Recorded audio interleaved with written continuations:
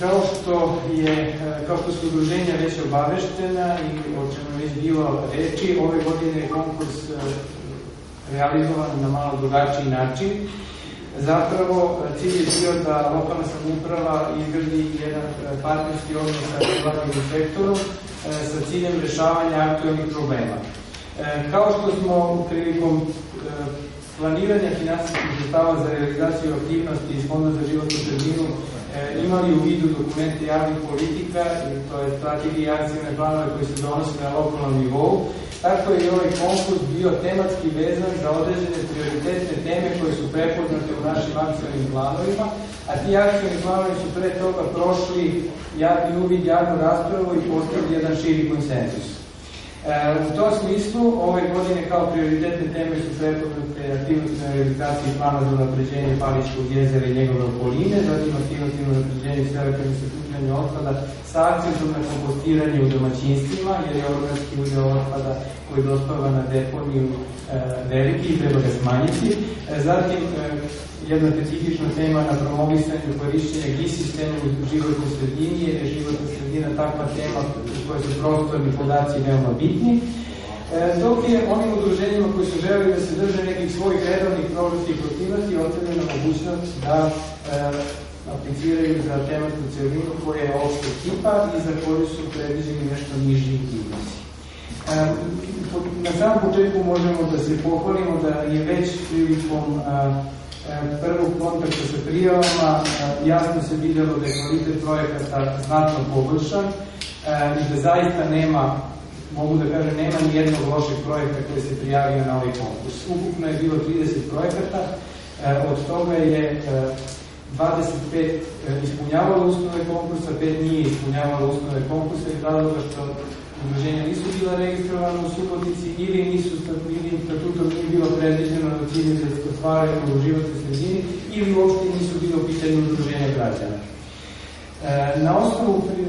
prispelih prijava e, komisija je bodovala na osnovu kriterijuma koji su dati u samom konkursu i svaki član komisije e, posebno je ocenio projekte i ocene koje su bile objavljene na sajtu grada sa lista vrednovanja e, koja je bila e, objavljena je data na osnovu tih ocena. E, videlo se da je veliki broj udruženja dobio zaista visoke ocene, e, najveći broj udruženja je ocena ocenom većem od 50%, ali bitno je napomenuti da su ove niske ocene nisu produkt loših projekata, nego promašenih tema. Znači, udruženja koje su pokušala da povežu e, svoje projekte sa temama koje su za veće sume bile predviđene, e, a to nije moglo da se uradi na način na koji su oni želeli, oni su jednostavno za onu e, značajno dobili nula poena, jer nije bilo u skladu s temom i zbog toga su ove ocene bile loše. U tom smislu i žalbe koje su bile na ocenjivanje, osnovne procene su kao neosnovane budući da je objašnjeno udruženjima o kojim se kriterijumima radi. E, ono što je dobra vest je da e, smo našli mogućnosti da podržimo sva udruženja koje su ispunila e, uslove konkursa, bez toga da se najboljim projektima značajno manje sredstva koje su dodeljena. E, pri tome je komisija dala predlog sledeći kriterijum. Oni koji su dobili više od 90% odnosno 90 pojena od mogućih 100, dobit će e, maksimum sredstava u iznosu od 100%, oni koji su dobili preko 80, dobit će 90% sredstava i tako dalje, znači oni koji s razmjerno broju poena je umanjeno, s tim što e, projektima koji su do 50.000 nije smanjivan iznos, jer bi to ugrozilo realizaciju samih projekata, bilo bi besmisleno da se e, projekti realizuju sa manjim sumama. E, te stoga e, smatramo da postoji jedan dobar osnov e, za da ovi projekti koji su podržani budu i ocenjeni, da budu i realizovani onako kako je to planirano i nadamo se da to da neka minimalna smanjenja neće ugroziti realizaciju projekata, ali fond koji je predviđen za ovo pitanje ograničen se, tako da smo to morali da uradimo. Ja se zahvaljujem gospodinu Žikireku za istu informaciju koju vam je dao. Mislim da imate na neki način jednu transparentnu podelu sredstava. Prvi put možda zaista tematski obličili zašto dajemo sredstva,